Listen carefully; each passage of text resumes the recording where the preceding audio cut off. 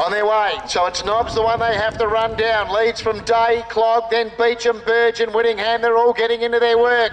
Knobs led the way. Day, Clog joins in. So does Burge with Beecham. Emily Burge is going to do the double today. Emily Burge beats Holly Beecham. Ella Clog might have just held third from Ellie Whittingham. And then Alex Day and Imogen Knobs.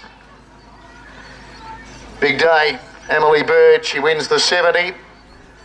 She wins the big one, the Pacific Blue Women's Crystal.